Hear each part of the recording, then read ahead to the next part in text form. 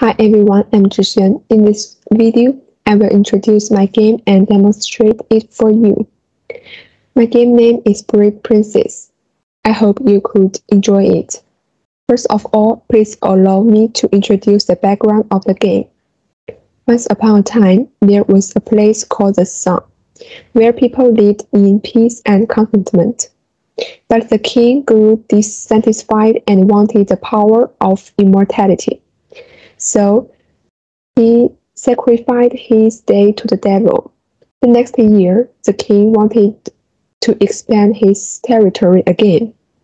So he dedicated the night to the devil. No day and night.